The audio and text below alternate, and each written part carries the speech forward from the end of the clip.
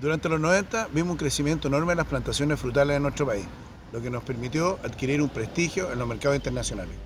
Hoy, en la segunda década del siglo XXI, vemos un nuevo frutícola sustentado a la nueva genética.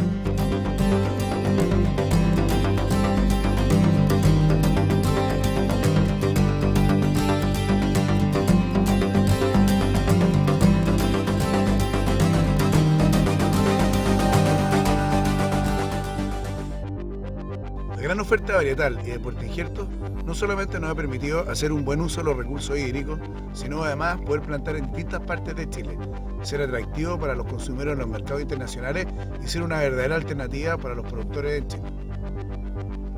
Si queremos sacarle partido a estos nuevos años 90, debemos subirnos al carro de la reconversión. Y para eso necesitamos tener mejor financiamiento, tener mejor sintonía fina respecto al uso de los recursos hídricos, a la nutrición, a los aspectos de manejo agronómico.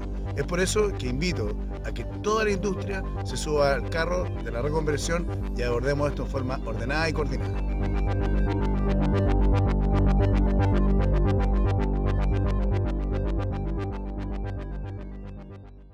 Uno, dos, tres, acción.